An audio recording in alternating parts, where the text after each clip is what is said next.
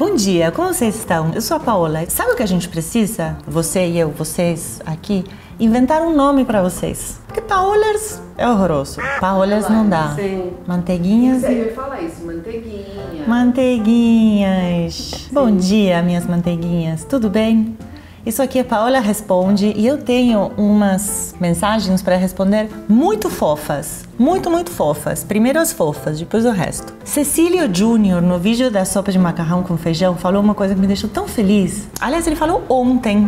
Cecílio Júnior, Sou gastrônomo formado por Nossa Cozinha com selo Paola Carosella. Como eu amo, eu que te amo. Coisa mais linda poder ensinar alguém, formar alguém ainda dar selo. O Will, também da sopa de macarrão com feijão, que aliás foi um sucesso, falou: Quem aqui como eu parou de quebrar macarrão por causa da Paola? E aí várias pessoas, a Ginalva, eu!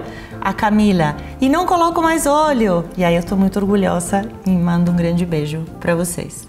Rafael Costa que fala que me ama. Eu também te amo, mas eu acho importante uma coisa: não foi só você. No vídeo da sopa de macarrão, eu sento no chão para comer com a Leide. No vídeo anterior, que eu acho que era o curry de frango, butter chicken, ele falou: Amei que no último vídeo a Paula estranhou a fala da Leide de sentar no chão para comer. Eu aposto que ela teve uma conversa e entendeu o significado. Rafael, eu cresci comendo no chão. Para você ter uma ideia, a minha infância e adolescência inteira, como eu estava muito sozinha porque a minha mãe trabalhava fora e eu não tinha com quem comer, eu fazia comida e sentava na frente do aquecedor em Buenos Aires, tão frio de morrer no inverno, com as pernas abertas e comia no chão. Ou comia no chão assistindo TV ou comia no chão. Então, assim, comer no chão é uma coisa, eu acho, até mais normal do que comer na mesa. Mas fala abaixo que a minha filha não deveria ficar sabendo. Não fiquei espantada, nem fiquei assustada. Você não foi o único que não entendeu. Eu só acho que as pessoas não entendem a minha ironia. Não me entendem. Eu não sou compreendida ou sou muito ruim na ironia. Uma de duas. Mas eu comi a minha vida inteira no chão. Amo comer no chão. O meu purê no processador está ficando elástico. Não ficava nunca, sempre ficava lisinho. Alguém sabe por quê? Olha, vou te explicar uma coisa assim. Batata que tem amido, quando você trabalha muito rápido esse amido, com a força que tem um processador ou um liquidificador, fica um grude. Dá até para montar alguma coisa colar na parede. Fica tipo aquele grude mesmo que você faz com farinha e água, sabe? Então, geralmente, não se faz purê de batata no liquidificador, nem de batata, nem de mandioquinha, nem todas essas coisas que tenham muito amido, que quando a gente liquidifica ou bate muito, muito rápido, fica realmente uma, uma gosma. Agora, se ele antes ficava lisinho e agora não, aí eu já não sei te responder, porque era para ter sempre ficado ruim. Por regra geral, na cozinha, certificado selo nossa cozinha, certificado Paula Carosella, purês não se fazem no liquidificador nem no processador. Você usa um espremedor de batata e você pode até usar um fouet rápido na boca do fogão, mas uma vez que você fez a emulsão entre a batata, leite e manteiga, para, porque se você continua mexendo, fica realmente um elástico. Paola, por favor, de onde são essas espátulas pequenas de madeira que você usa? De vários lugares, mas todas são de mercados centrais do Brasil. Então tem da Feira de São Joaquim na Bahia, tem é, do mercado do Mercadão aqui em São Paulo. Qualquer mercado, mercadão no Brasil você vai encontrar. Eu encontro, então você tem que encontrar também. Colhercinhas pequenininhas são super baratas e são maravilhosas para cozinhar e para experimentar coisitas. E feira também vende. E feira também vende aqui a nossa Bárbara está falando.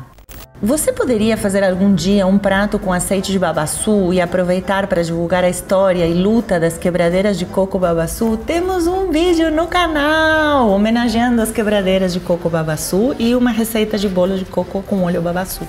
Maria Araújo, Paola, eu procuro uma receita de pão de ló sem açúcar e sem farinha. Tô chato, me avisa.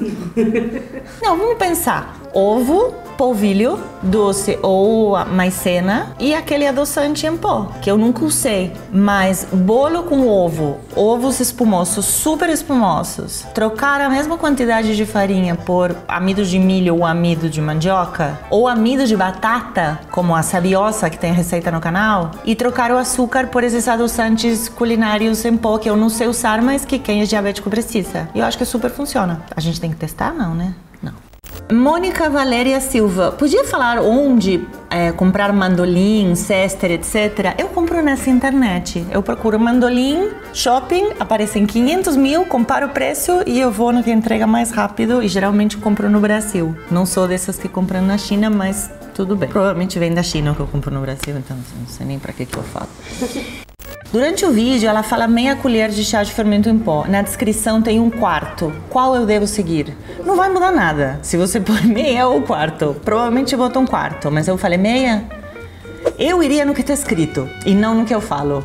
Em quantidades. No resto, sim, mas em quantidades, porque a Ju, olha a cara dela. Não, mas ela tem cara de quem escreve tudo certinho. Eu, na hora que eu tô cozinhando, quando a gente peça as coisas primeiro, na hora que eu vou colocar, não tô com a receita do lado. Então posso errar. Então tá escrito embaixo, mas não muda nada, um quarto. Ah, achei interessante esse comentário da Bruna Roça. Ela fala assim: Ué, não entendi. As batatas, se eu coloco para cozinhar, 10 minutos em caça já desmancha. Aí eu fico pensando, ou você as coloca na água já fervendo, e mesmo assim eu acho que 10 minutos é pouco, ou se for batatinha, ou você usa panela de pressão, minha filha, porque em 10 minutos a batata na panela normal não cozinha, e muito menos desmancha. Priscila Cardoso, Paola, ensina a gente a fazer tortilha de papas. Nunca te pedi nada, meu amor. Tá no canal, maravilhosa a receita de tortilhas. Ah, tem milhares de pessoas que me explicaram que esses números de trás do nome é uma coisa do YouTube. Beleza, obrigada, já aprendi. 200 milhões de comentários de que nos ovos mexidos cremosos eu esqueci de botar o leite. Eu acho que eu não esqueci, eu acho que o leite é opcional, por isso que eu não coloquei. Posso ter esquecido também, não lembro. Mas se você quer deixar desse, não... ó, não muda muita coisa, honestamente, porque não pode pôr ou não. Que a cozinha é assim.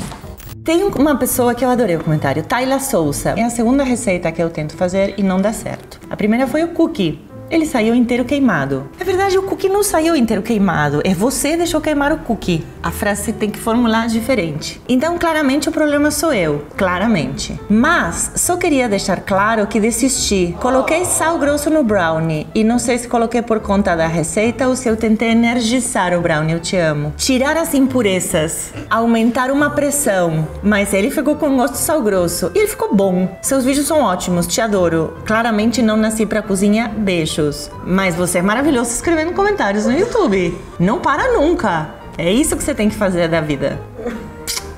Não pause no minuto doce doce, porque vocês vão se decepcionar. O que acontece? No minuto doce doce tem uma foto da carbonara. O prato tinha esfriado, então não é a mesma coisa um carbonara quentinho saindo da panela que quando o prato esfria pra gente fotografar. E às vezes demora para fotografar, às vezes não acha a luz certa. Não, não é culpa de ninguém, porque eu também poderia ter visto e falado: não, não bota essa, porque o Arthur vai achar uma merda no minuto doce doce e vai criticar o meu carbonara. Tem um comentário muito importante sobre carbonara e sobre. É... Acho que tu fechou assim o. Pe... Ah. Tem um comentário muito importante, gente, sobre carbonara, sobre ketchup. Tem um comentário muito importante do queijo parmesão nas receitas de cacio pepe e nas receitas de carbonara. É triste, mas é o seguinte, essas receitas italianas, tanto a carbonara quanto o cacio pepe, são feitos com os queijos carbonara ou pecorino romano, que é uma espécie de parmesão de leite de ovelha, ou grana padano, que é um ou gran parmigiano ou parmigiano reggiano, que é um queijo parmesão curado de uma qualidade altíssima, caríssimo. Quando a gente vai comprando queijos mais baratos, eles não são ruins para comer, eles são deliciosos. Parmesanos brasileiros são uma delícia, mas são pouco curados. Geralmente eles estão muito frescos e muito oleosos. A estarem muito frescos e muito oleosos, às vezes eles não criam a cremosidade que o parmesão ou que o pecorino consegue criar na emulsão com a água e a manteiga. No cacio pepe, por exemplo, não leva manteiga, o cacio pepe é só água com queijo ou no carbonara com a gema, porque eles têm muita gordura, porque estão pouco curados. Então se é, é, não dá tão certo, ou se você vê que fica nos fiapos de queijo, que parece que está comendo macarrão com fondue, não é culpa tua. Blame it on the cheese. Só falando. Como é que a baina, a baina, a baina seria a baiana, diz que não se coloca gengibre no vatapá só porque ela não gosta? A China é a China, né? Quem viu esse vídeo pode ver que se ela falou, tá falado do jeito dela, nas coisas dela. Mas eu acho que tem muito disso. Eu, eu conheço muitas pessoas na Bahia que não colocam gengibre no vatapá e muitas pessoas que colocam e muitas pessoas que colocam gengibre na moqueca e muitas pessoas que nunca ouviram falar que a moqueca podia levar gengibre. E eu acho que com receitas de cozinha é muito assim, né?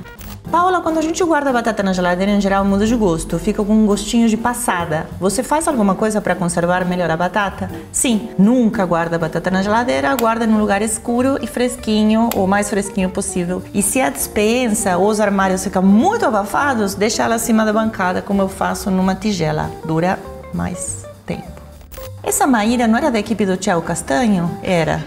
Chega, né? Já deu, temos muito o que fazer. A gente vai fazer uma reunião agora de trabalho. Obrigada pela presença. Se inscrevam no canal, ativem o sininho para receber as notificações. Tem vídeo novo todo sábado. Muito obrigada pelas perguntas e mandem mais. Obrigada, um beijo.